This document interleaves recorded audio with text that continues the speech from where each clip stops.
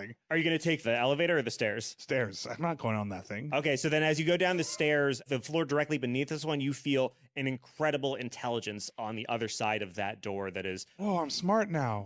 No, no, you don't. You don't become intelligent. You feel, you sense an intelligence on the other side of that door.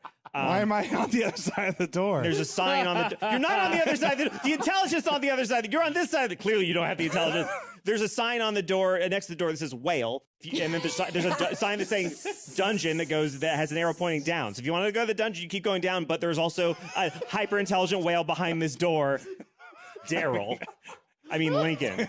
I mean, as I fun mean as this- Matt. I'm just cracking up and just just a handwritten sign. that It's not whale. handwritten. It's official looking. That's even funnier for some reason. They're like, all right, we got to get this They went to sign Kinko's. printed. We got to get a nice sign printed that says I'm whale. stuck between like you gave me like the fire hose. You're like run to the fire. Then as I'm running to the fire, you're like by the way, there's a door that says whale on it. I'm just Like, saying, you like- said I'm setting up the space. I'm being consistent about the way the space is built like, I out, feel and I'm telling you that there's a psychic, hyper intelligent whale by on this door. Like, I feel you like don't I have to talk to him. You like I just have to should- fucking know he's there. It's Alan Rickman in Die Hard looking at like the list of names.